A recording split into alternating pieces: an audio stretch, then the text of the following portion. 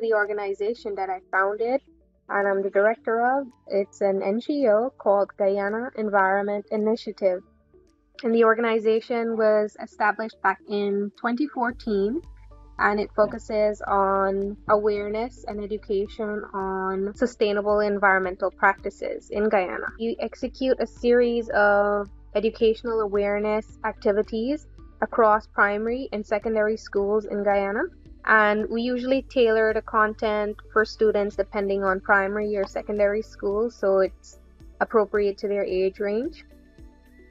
And we make the content in a very digestible way for students so that they're able to understand and connect with it in their everyday lives.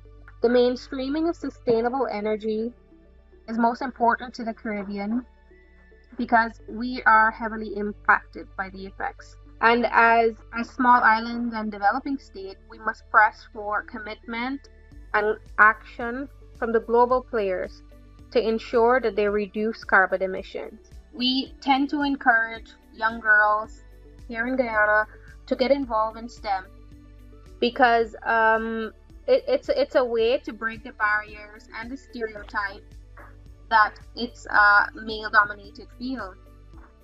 And by them pursuing um, studies and careers in STEM, they, they, we now have an equal and a more balanced approach in the way we address sustainable energy.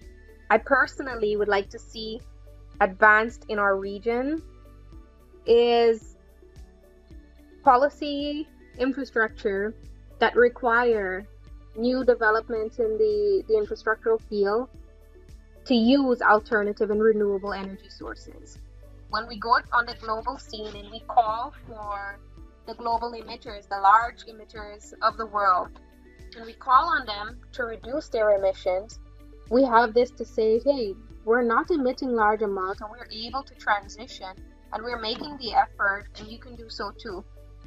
So this is my thought, and this is something that I really want to see happen, and I believe is highly possible with our leaders in CARICOM.